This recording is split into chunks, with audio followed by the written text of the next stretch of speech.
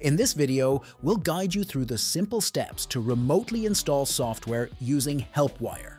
First, open the HelpWire admin menu and either create a new client or select an existing one from your list. Next, copy a unique remote control link. Share this link with your client via email or your preferred communication method. This link allows them to download and install the HelpWire client app on their device. After the client installs the HelpWire app, they need to grant you access permission. This ensures you have the rights to control their device remotely. With permission granted, connect to the client's device by selecting their profile and initiating a remote session from the HelpWire dashboard. Once connected, use HelpWire's file sharing feature to transfer the installation files.